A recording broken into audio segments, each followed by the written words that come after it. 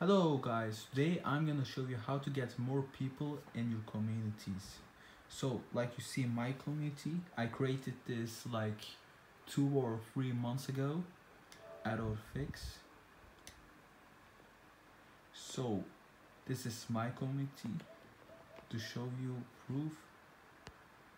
Like you see that's my name.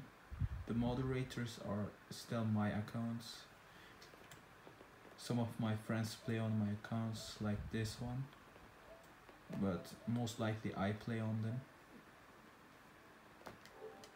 So how to get more people in your communities?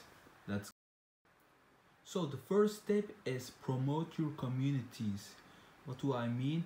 If you have a YouTube channel for an example you can promote it on there you can say like you can always join my community uh, but make it interesting so people join your community. Because most people they wanna join for something.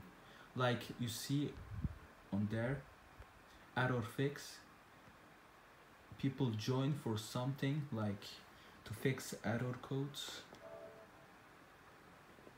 Like the most people are talking about error codes or things like just general problems on PlayStation 4 all type of problems.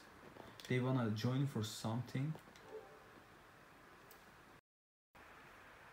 And the last step give it a great name. So what do I mean? Don't give it like a hard name like for an example uh, blah blah blah like this don't make communities like this. Give it a good name original name a OG name. What you also can do is if there is a new game coming out like cyberpunk you can make a community on that.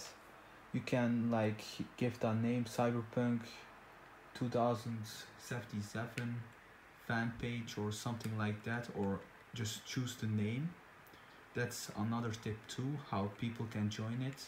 Because people are gonna search up that game on communities and they will join.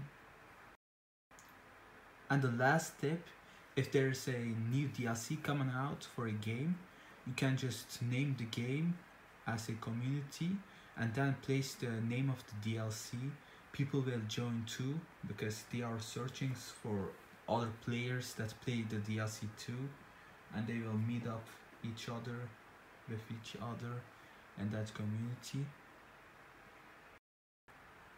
So thanks for watching guys. Subscribe like and leave a comment down below. Goodbye